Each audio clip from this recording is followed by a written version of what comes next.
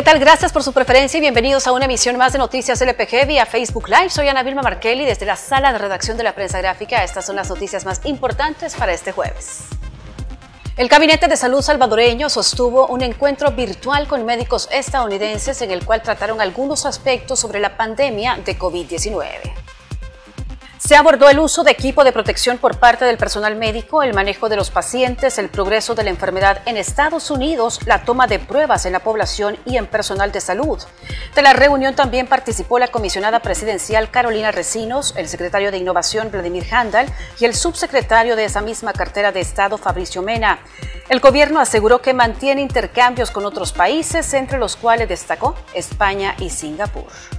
Este jueves inició el periodo de cuarentena especial durante el cual el gobierno ordenó cerrar más cadenas productivas y parar la circulación del transporte público.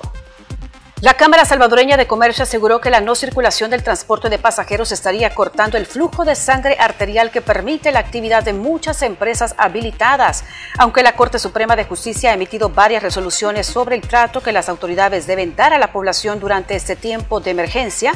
El decreto únicamente se enfoca en que la población salvadoreña está obligada a cumplir con las disposiciones de las autoridades. Las personas que no tengan el documento único de identidad deberán solicitar una certificación al Registro Nacional de las Personas Naturales, ya que si no cuentan con esta no podrán circular.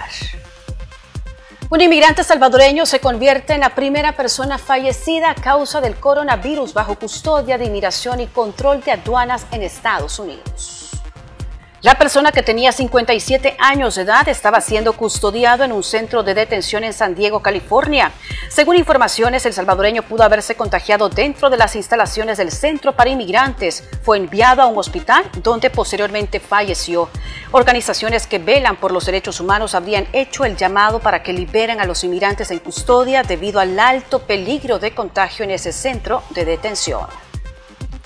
Y México llega a su semana más crítica de contagios con más de 26 mil casos y 2.507 muertes, de acuerdo con las más recientes proyecciones de las autoridades de salud de ese país.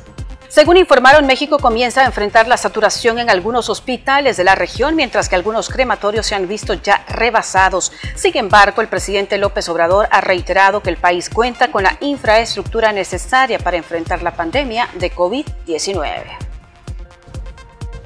Gracias por haber estado con nosotros en una emisión más de Noticias LPG y por favor quédese en casa. Recuerde que proteger su salud y la de su familia es lo más importante. Los espero mañana para compartirles más información. Hasta pronto.